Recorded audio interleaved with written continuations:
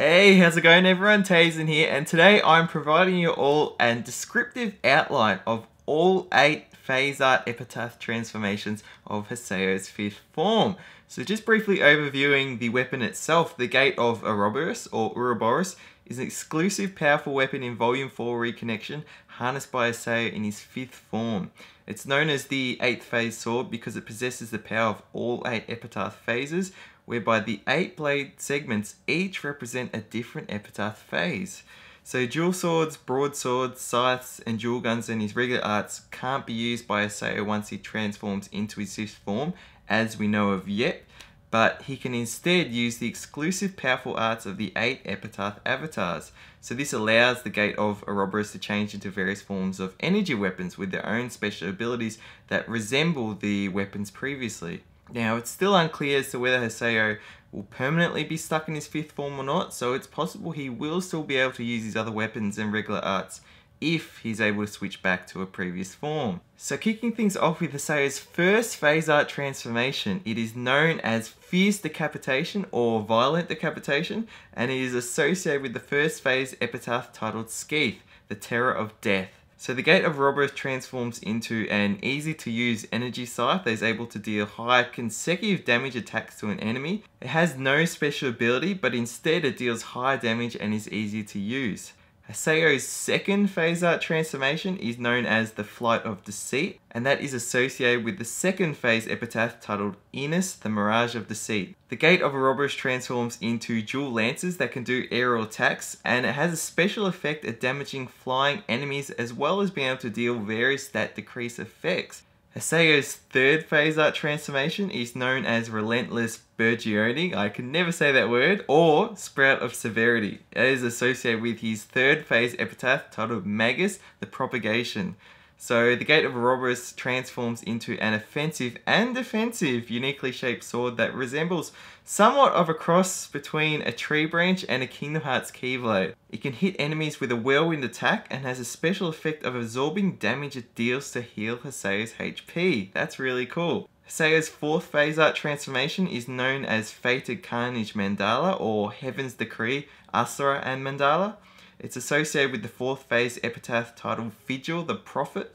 In this form, the Gate of Ouroboros transforms into a giant hammer that can swing down and strike a wide range of enemies with low hits and big shockwaves, essentially blowing them away. And it has a special effect against armored hard-shelled enemies. Haseo's fifth phase art transformation is known as Fated Blossom or the Great Wheel of Fate and is associated with the fifth phase epitaph titled Gorre the Machinator. The Gate of Ouroboros transforms into twin blade like dual swords that do fast, high damaging slashes. And like the second phase art transformation, it has a special effectiveness against flying enemies also. Haseo's sixth phase art transformation is known as Voluptuous Crimson Cyclone or Fascinating Crimson Whirlwind. It's associated with the sixth phase art epitaph titled Macha the Temptress. The Gate of Ouroboros transforms into long clawed jewel talons in both of his hands that can do consecutive attacks and unleash a rose-like aura to blow enemies away. It has a special probability effect of inflicting a charm status on an enemy. Haseo's seventh phase art transformation is known as Gem of Vengeance or Jewel of Revenge and it's associated with the seventh phase art avatar titled Tarvos the Avenger. The Gate of Ouroboros in this form transforms into a large mace that, after dealing multiple hits to an enemy, its rotating tip spins, allowing it to deal multiple stages of damage. Like the fourth phase art transformation, it also has a special effectiveness against armored hard-shelled enemies. And lastly, Haseo's 8th phase art transformation is known as Judgment of the Evil God. It's associated with the 8th phase epitaph titled Corbenik the Rebirth. So in this final form, the Gate of Ouroboros transforms into an energy cannon gun that burns enemies it shoots in its line of sight in front of it. And it has a special ability of dealing high damage long range attacks. So these are all really cool looking at the different eight transformations. As you can tell, there are differences between them all in terms of the special effects they do, whether it being high damage, targeting certain types of enemies like flying enemies, armored shell enemies, as well as doing, you know, uh, charm effects, negative stat decreases. And it's cool to see that some of them have, you know, crossover effects. Like I was saying, certain There are several phases that both do special damage against armored hard shells, two that do damage against flying enemies.